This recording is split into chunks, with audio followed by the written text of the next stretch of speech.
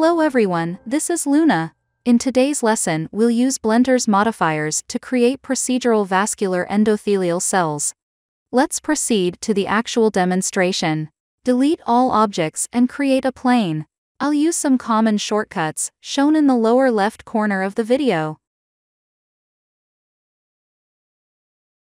Press Tab to enter edit mode. Press RX90 to rotate the plane 90 degrees around the x-axis. Then rotate it 45 degrees around the y-axis. Finally, press SZ to scale it vertically. Now that we have a single segment, let's duplicate it using the Array modifier. First, apply an Array modifier to duplicate it 7 times along the x-axis. Add another Array modifier to duplicate it along the z-axis once, and adjust the position using constant offset. Now we have two rows.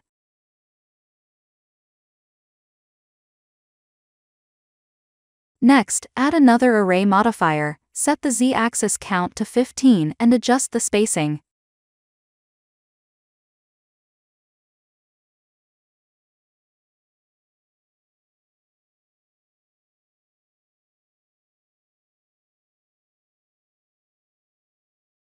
Create a circle curve and scale it up slightly.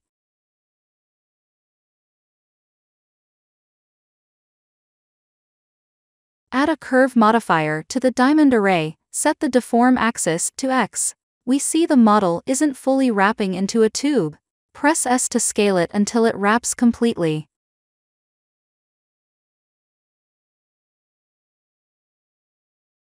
Create a new curve.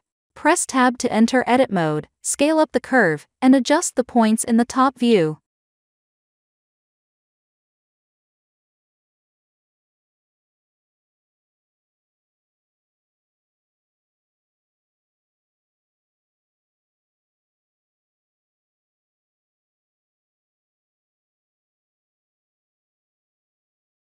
Apply another curve modifier to deform the diamond array onto this new curve, setting the axis to z.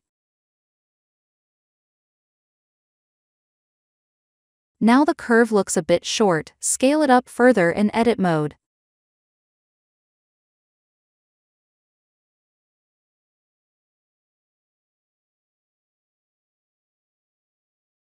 Now we have a vascular endothelial cell array. But it lacks thickness, Add a solidify modifier to give it thickness, and a subdivision surface modifier to smooth it.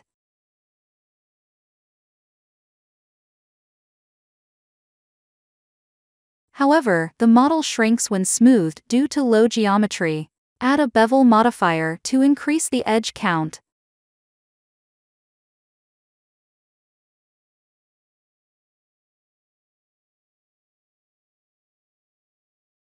Now the model is ready.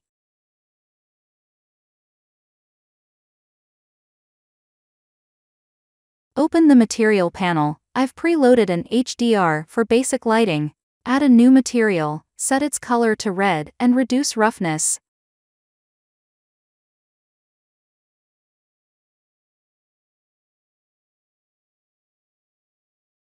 Use a bump node with noise to add surface texture.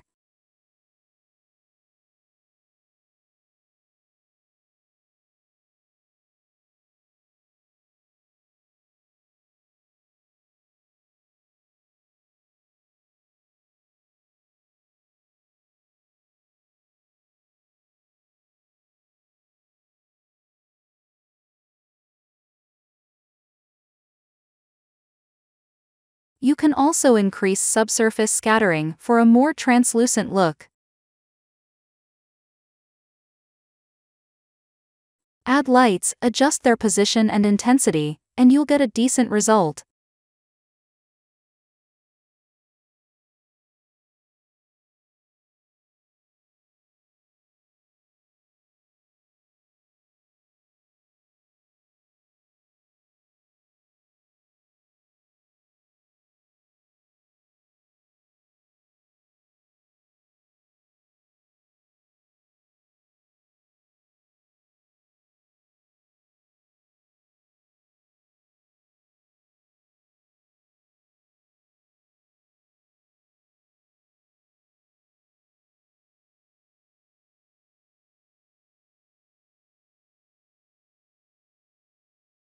To adjust the vessel shape later, simply edit the curve, the cells will follow automatically.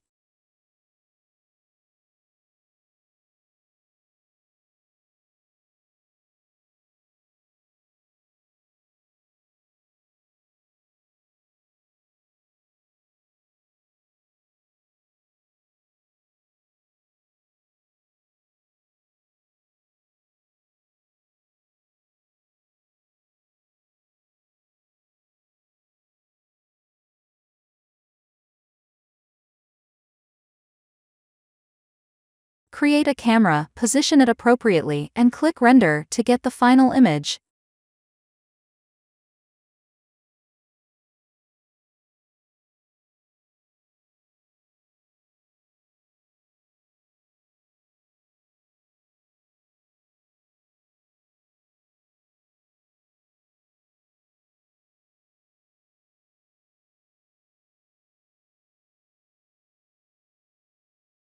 Click Save as to export it. That's how you create vascular endothelial cells using Blender. If you have questions, please leave a comment, I'll respond promptly. Thanks for watching and see you in the next video.